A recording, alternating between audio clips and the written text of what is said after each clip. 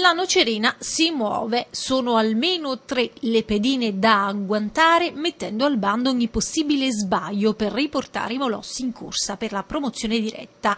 La vittoria con il Sorrento ha infatti rilanciato le quotazioni dei rossoneri di Mister Auteri che però dovranno essere rinforzati a dovere dalla società per competere con un Avellino che zitto zitto sta cercando di prendere il largo.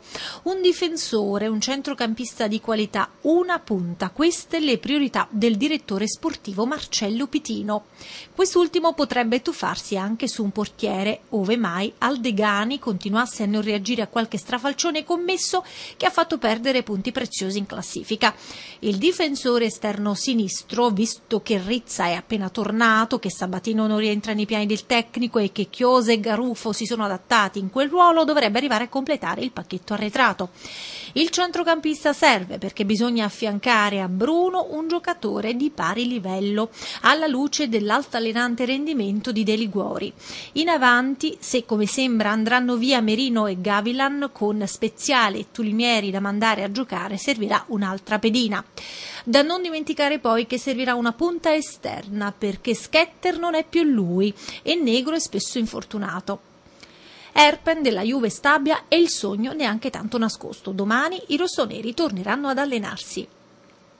Ripresa invece fissata già per oggi per la Paganese. Gli azzurro-stellati di Grassadonia dovranno dimenticare in fretta la battuta d'arresto di Perugia che ha lasciato qualche strascico. Il tecnico salernitano in questi giorni incontrerà il presidente Trapani e il direttore generale Deboli.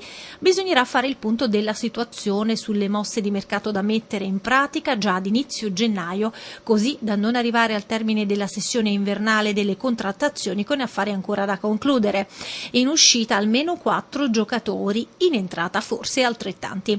È necessario capire se intervenire per il ruolo di portiere, serve un difensore centrale importante perché quando mancano Fernandez e Fusco si va oggettivamente in difficoltà. Il reparto di mezzo sembra quello più fornito e va anzi smaltito. In avanti potrebbe arrivare una punta se Orlando, come pare, andrà via. Questione Babù. Il brasiliano continuerà ad allenarsi con gli azzurri. Ad inizio gennaio saranno sciolte le riserve sul suo conto.